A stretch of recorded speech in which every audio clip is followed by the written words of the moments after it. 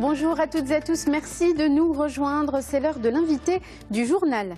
Union africaine, quelles options pour une autonomie stratégique? C'était le thème de la première conférence sur la paix et la sécurité en Afrique organisée par l'OCP Policy Center ce début de semaine à Rabat. Cette rencontre de haut niveau a réuni une centaine de participants venus de 27 pays, dont 45 institutions étrangères, et elle avait pour objectif de fournir des recommandations pour que l'organisation panafricaine puisse faire face aux nombreux défis qui attendent le continent, notamment en matière de développement économique, de stabilité et de sécurité.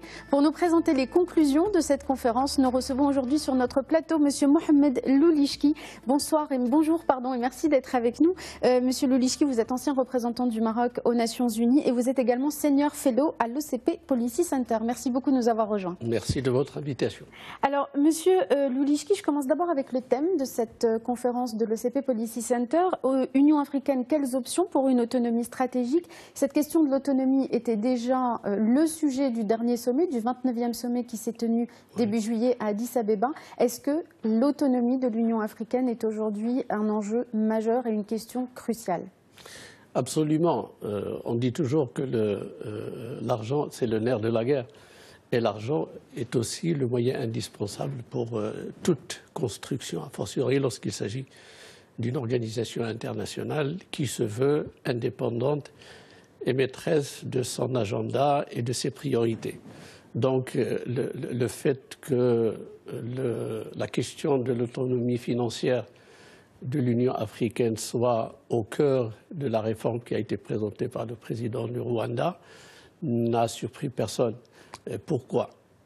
Ah, juste, pardon, avant que vous continuiez, pour nos téléspectateurs, on rappelle oui. que sur le budget prévisionnel, par exemple, de cette année en cours 2016-2017, 73% sont pourvus par des donateurs étrangers, notamment l'Union européenne, la Chine ou la Banque mondiale, et il y a seulement 27% euh, qui viennent des cotisations des États membres. Je confirme totalement vos statistiques. Euh, dans l'état actuel des choses, comme vous l'avez dit, c'est entre 73 et 75% du budget qui est couvert par des pays non africains. Je dirais plus, il y a à peu près 30% des pays qui ne paient pas leur ou paient partiellement leurs cotisations. J'ajouterais que l'édifice du siège de l'Union africaine, c'était un cadeau de la Chine. Il a coûté 200 millions de dollars. Alors, un siège d'une organisation continentale qui n'a coûté que de 100 millions, alors que les principaux pays producteurs du pétrole avaient dans leur euh, caisse quelque chose comme 300 milliards de dollars, ça paraît un peu interpellant pour tout le monde. Et donc, euh, dans, dans, la réforme qu'il a présentée, il a imaginé quelques options. Bon, parmi ces options, à titre tout à fait indicatif, une taxe d'hospitalité sur les entrées touristiques, une taxe sur les billets d'avion.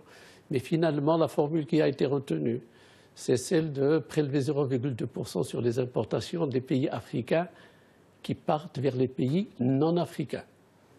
Donc on veut Donc préserver. Cette recommandation a été approuvée C'est une recommandation qui, en principe, est entrée en vigueur euh, durant cette année de 2017. Il y a même quelques pays qui ont déjà euh, adopté une législation dans ce sens et donc euh, euh, se sont engagés à fournir ce 0,2%. Je mentionnerai par exemple, pour des raisons tout à fait évidentes, l'Éthiopie qui est le siège de l'Organisation de lutte africaine, le Tchad qui est le, président de la Commission, la, Côte d'Ivoire, la République de Congo et, les, les autres pays ont, paraît-il, quelques difficultés d'ordre uniquement logistique. Mais je pense qu'en fin de compte, ces 0,2% finira par s'établir comme étant un moyen Alors, euh, pour financer l'Union africaine. Alors, en plus de ces mesures, on va dire, réglementaires, euh, mmh. qui peuvent être une, une, source de fonds pour l'Union africaine, est-ce qu'il n'y a pas aussi la nécessité d'une réforme structurelle euh, de l'organisation? Paul Kagame aussi a fait des recommandations en ce sens dans son rapport. Est-ce qu'on est à un moment où cette réforme structurelle peut vraiment voir le jour? Euh, euh, tout d'abord, ce n'est pas la première fois qu'il y a des réformes qui ont été présentées. Il y a une dizaine d'années, il y a un expert euh, africain qui s'appelle M. Adediji qui avait présenté quelques recommandations dont s'est largement inspiré le président Kagame. C'est une, une réforme exhaustive, holistique. Ce n'est pas uniquement la question des finances, c'est la mise en œuvre des, des décisions de l'Union africaine. Depuis euh, sa création, l'organisation a adopté 1500 résolutions et on compte sur le bout de quelques doigts, de quelques mains, le nombre de résolutions qui ont été adoptées. Deuxièmement, la question de la répartition équitable des postes à l'intérieur de l'Union africaine. Il y a des critères qui sont objectifs, mais qui ne sont pas appliqués. Je vous donne un simple petit exemple le, comité paix et sécurité, c'est un comité où la représentation géographique doit être équitable, mais également qui doit être tournante. Donc il faut qu'il y ait une rotation. Alors cette rotation va à l'encontre d'une pérennisation d'un membre quand même au sein de cette commission tellement importante pour la paix et la sécurité. Donc il y a cela, mais il y a également la question de la nécessité pour l'organisation de se focaliser sur certains objectifs prioritaires et de donner les moyens pour justement mettre en œuvre ses, priorités. Alors, il nous reste trois minutes. Euh, il serait un peu long de revenir sur toutes ces priorités, mais puisque cette conférence parlait de paix et de sécurité, euh, la stabilité fait partie de ces enjeux majeurs. Là aussi, euh, l'Union africaine manque de, moyens ou de ressources. Juste un chiffre, sur les 23 missions de sauvegarde de la paix et de la sécurité en Afrique, 10 sont assurées par l'Union européenne, 8 par les Nations unies et 5 seulement par l'Union africaine. C'est-à-dire que l'Union africaine pourvoit seulement à hauteur de 20% à sa sécurité intérieure. Est-ce que là aussi, c'est un enjeu qui a été euh, largement abordé et quelles conclusions ont été faites sur cette ah, question? Finalement, la conclusion, parce qu'il faut, il faut dire, il faut spécifier une chose, il faut préciser que le budget des, opérations de maintien de la paix ne fait pas partie du budget général, ni pour les Nations Unies, ni pour l'Union africaine. Euh, l'ambition de l'Union africaine, c'est de sécuriser 100% du budget de fonctionnement, 75% du budget des programmes, c'est-à-dire, par exemple, Ebola est, apparu, il faut un budget pour éradiquer ça. Il y a une situation d'urgence, une catastrophe, il y a. Mais le troisième, qui sont les opérations de maintien de la paix, l'ambition de l'Union africaine, c'est de ne couvrir que 25%.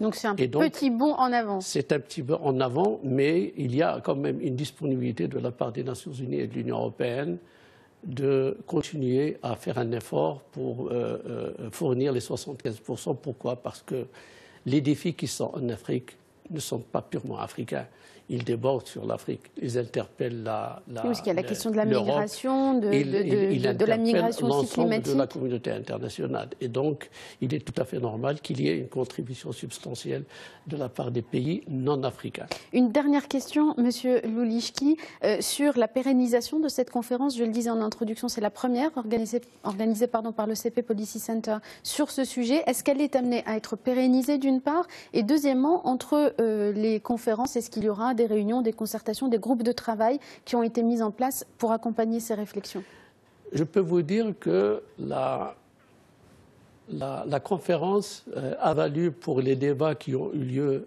à l'intérieur des salles de conférence, mais elle a également valu par les contacts et les interactions qui ont lieu en dehors et qu'on n'a pas pu quand même, qui n'ont pas été visibles. C'était une ambition que d'organiser cette première édition. Et je pense que cette ambition s'est concrétisée de manière extrêmement prometteuse. Euh, le, fait que le Maroc puisse abriter par un think tank marocain une conférence euh, régulière et qui va revenir au Maroc, mais pas nécessairement uniquement au Maroc, euh, pour traiter des questions paix et sécurité et développement, je pense qu'il a le mérite de mettre le Maroc là où il a le droit d'être, à savoir un centre de rayonnement, de la réflexion, de l'analyse, mais également un moyen de démontrer la solidarité du Maroc avec l'ensemble de l'Afrique et un moyen de traduire dans les faits la stratégie conduite par Sa Majesté le Roi avec les Africains, en faveur des Africains et dans le but de, servir le citoyen africain. La dynamique est donc lancée. Merci beaucoup, Monsieur Loulichki, d'avoir été avec nous pour commenter donc cette euh, conférence de l'OCP Policy Center. Merci infiniment. Merci de votre invitation. Merci à vous tous et à vous toutes de nous avoir suivis. Restez sur Médien TV, l'information continue dans un instant. Et quant à moi, je vous donne rendez-vous demain avec un nouvel invité du journal.